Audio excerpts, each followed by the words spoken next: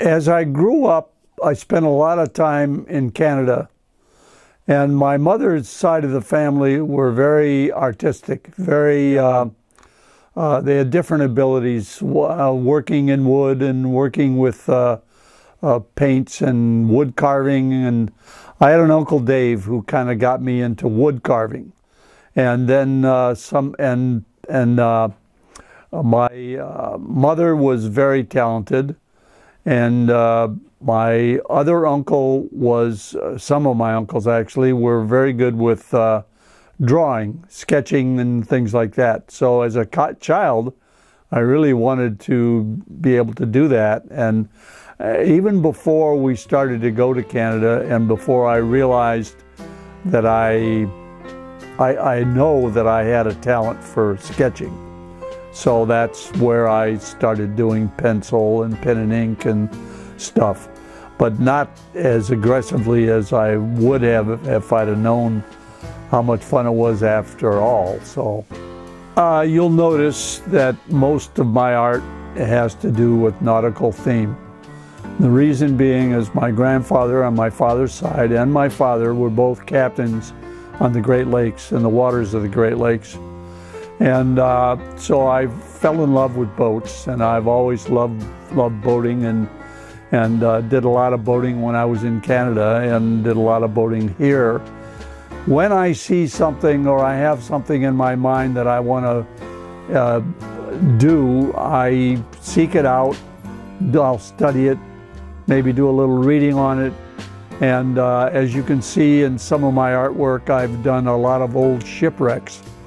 I have a lot of love for the old ships and Many of them are no longer around, but if I have the opportunity to see the picture or to read the history on it, I will go ahead and and I'm pretty much duplicating what I'm seeing and I do it in my own fashion. If there are some things need change, I'll go ahead and change it to suit my desires, but it still represents the idea, the uh, project that I want to do. And I get all kinds of different inspirations. I've had people send me pictures that they want me to duplicate, and so I do. I really think that uh, artists are a very, very important part uh, of, of history. Uh, what they do pretty much could last forever, as you can tell by some of the old artists, Rembrandts and such that uh, their work is still around and, and it needs to be around because it depicts parts of history, not only that they've depicted in their pictures, but in what the era that they were living in is depicted in those pictures too. So it's very, very important. And, and again, I don't expect mine will be around very uh, for a long time, but uh, they'll be uh, enjoyed by people who bought them. And, and again, it, I've sold pictures pretty much in Canada and and uh, I've got uh, California and New York and Florida and and uh, Canada. So I've sold some pictures. I sold a lot during this pandemic, but uh, I think the history, the, the, the artists should be not so much recognized, but uh, appreciated for the work that they do and it's it's a it's a love that they are taking from their heart and putting it onto canvas or paper or whatever. Even uh, as I do wood carvings, it's a love that I have, and it helps me uh, depict pretty much parts of life that no longer may no longer exist. And uh, so that's why I, that's what I think the most important part of it is. I've done wood carvings now for pretty close to 60 years, but uh, I uh, I got involved with painting acrylics through the Josephine Ford Center. I had cancer, prostate cancer, and I was treated for it there, and they offered a class in acrylics uh, for free, and it was something that I really enjoyed to get involved with. I always wanted to try and do that, and since they offered it and it was available, I went ahead and did it. And luckily, they supplied all the paints and the brushes and canvases and everything.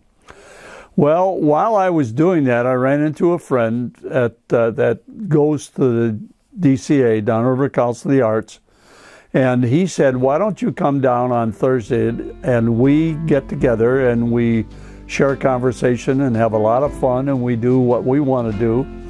And there are several artists that go in there. Some do uh, uh, needlepoint, some do acrylic, watercolor. Uh, I don't know, I think I'm the only one that wood carves, but usually the wood carving I do at home.